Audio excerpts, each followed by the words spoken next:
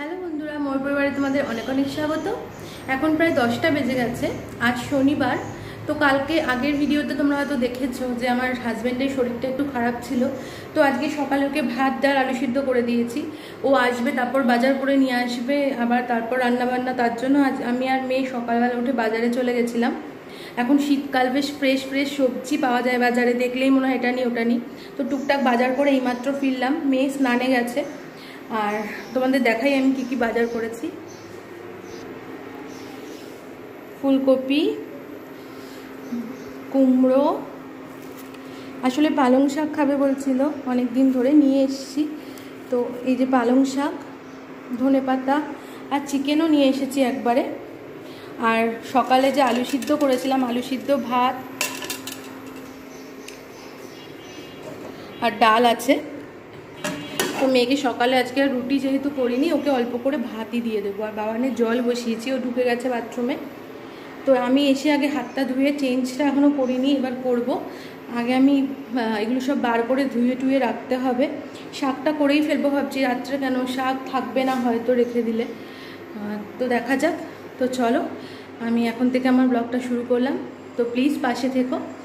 Afternoon বন্ধুরা। প্রায় রান্নাবান্না অনেকটাই শেষ হয়ে এসছে, প্রায় একটা বেজে গেছে।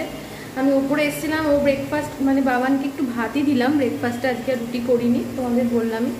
তারপরে একবারে আমি রান্না বসিয়ে দিয়েছি, মোটামুটি অনেক রান্না হয়ে গেছে। তাড়াহুড়ো করছিলাম বলে আর মানে সেরকমভাবে ভিডিও করিনি। সবজি কেটে, মশলা করে, মোটামুটি পালং শাক হয়ে গেছে। জলপাই, চাটনি করেছি। আর এবার চিকেনটা করব। আলু ভাজা বসিয়েছি, এটা ধুয়ে পরিষ্কার করে রেখেছি। ব্যাস, একবারে করে টোরে নিলে একবারে ইসে। জলপাই চাটনি বেশি আমার মা করতো, ভালো লাগতো। একদম সেদ্ধ করে চটকে নিয়েছি, নিয়ে মা বলল আর কি সর্ষে ফোড়ন দিতে। সর্ষে ফোড়ন দিয়েছি আর ভাজা মশলা, জিরে, ধনে, শুকনো লঙ্কা ভেজে গুঁড়ো করে দিয়েছি।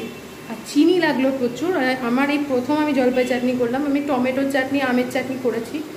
জলপাই করিনি, প্রচুর চিনি লেগেছে মানে অনেক চিনি লাগল, টক কিছুতেই যাচ্ছে না। তো তাও হয়েছে, অনেকটাই হয়েছে, জানি না, ও বাবানের তো ভালো লেগেছে আর বাবানের বাবার কেমন লাগবে? আর এবার হচ্ছে চিকেনটা হলেই বাবান এর মধ্যে দু তিনবার এসছে, আর কত দেরি আর কত দেরি, তো আমি এখন করে নিলে সন্ধেবেলা আর অসুবিধা থাকবে না। তাহলে এই জন্যই আমি আরও তাড়াহুড়ো করছি। তারপরে আবার নিরামিষ জিনিসগুলো সব জাল দিয়ে সরিয়ে রাখলাম। তোমরা জানোই আমার কড়াই আপাতত দুটোই। সেটা করে তারপরে সবজি কেটে করতে করতে একটু দেরি হয়ে গেল। তো চলো আগে আমি চিকেনটা রান্না করে নিই। ভেবেছিলাম আজ সন্ধ্যেবেলা বেরোবো, কিন্তু আর বেরোবো মনে হচ্ছে না বেরোবো কেন, শরীরটাও ভালো না। আর মোটামুটি যা দরকারের জন্য বেরোবো সেগুলো সব করেই ফেলেছি। তো একবারে মাস পড়লে, মাসের মালটা যখন আনতে যাব তখনই বেরোবো। আমি বেরোলেই মেয়েকে নিয়ে মেয়েও বায়না করবে। তার থেকে আজকে বেরোবো না ভাবছি। চলো আবার পরে দেখা হচ্ছে একটু। বন্ধুরা ময়ের পরিবারে তোমাদের অনেক অনেক স্বাগত। মাঝখানে দুদিন একদম মানে খুব ঠান্ডা লেগেছে, আমার গলা শুনে হয়তো বুঝতে পারছ। তো একটু অসুস্থ ছিলাম, এখন মোটামুটি ভালো আছি। হঠাৎ করে এই ওয়েদার চেঞ্জের সময় আর আমার রান্নাঘর যেহেতু ওই উপরে একদম ছাদে, ভোরবেলার দিকে হয়তো তার জন্য ঠান্ডা লাগতে পারে। তো আমি এখন ওপরে এসেছি, রান্নাবান্না রাতে টুকটাক করে নিলাম।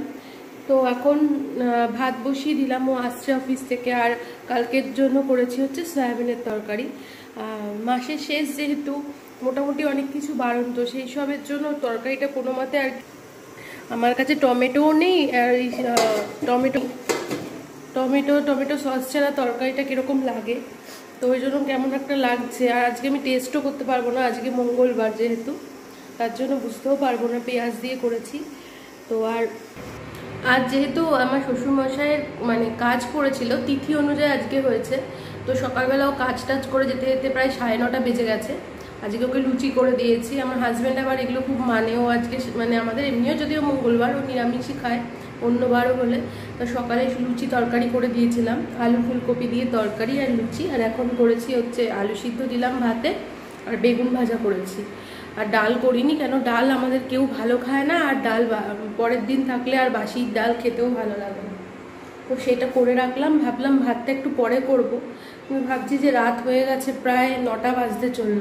তো ভাতটাও করে ফেলি, এসে খেয়ে শুয়ে পড়বে। আর জানি না কেন এখন আগে চটপট এত ঠান্ডা লাগতো না, এখন একটু একটুতেই প্রচণ্ড ঠান্ডা লেগে যায়।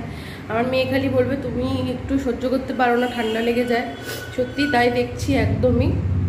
তার জন্য আর কি দুদিন ওষুধ না মানে ওই আমার মনে হয় একটু অ্যালার্জিরও সমস্যা আছে। ওষুধ, সেই অ্যালার্জিরও ওষুধ খেলাম, তারপরে ক্যালপল খেলাম। তো এখন মোটামুটি ঠিক আছি, শরীরটা অনেকটাই ভালো আছে। তো চলো, এইটুকুই থাক। আবার সেই তোমাদের সাথে শনিবার আর রবিবার গল্প হয়েছিল সকালের দিকে। আবার এই এখন দেখা হচ্ছে। চলো আবার পরে ব্লগে দেখা হবে। আর যেহেতু তোমাদের বলেইছি যে সামনের মানে সামনের মাসে নেই, কালকেই এক তারিখ ডিসেম্বরে, এই মাসেই ঘুরতে যাব যাব প্ল্যান হচ্ছে। তার জন্য টুকটাক কিছু কেনাকাটাও করব, সব তোমাদের সাথে শেয়ার করব। মাসটা পড়ার অপেক্ষায়। আর মাসটা পড়লে সানডে হলেই বেরোবো। ইচ্ছা আছে, আমাদের তো কাছে হাতিবাগান আছে। ওখান থেকে কিছু জিনিসপত্র কিনবো। আর শীতের যদি কিছু মেয়ের তো হয়ে গেছে, যদিও শীতের জিনিস তোমাদের সাথে শেয়ার করেছি। সেরকম জামা কাপড়ের কেনার কোনো আসে নেই, আর টুকটাক জিনিস কিনবো। তো চলো, সব শেয়ার করব, যা হবে না হবে। তো পরের ব্লগে আবার দেখা হচ্ছে। প্লিজ সাপোর্ট করো, পাশে থেকো মোয়ের পরিবারকে ভালোবাসা দিও। তো চলো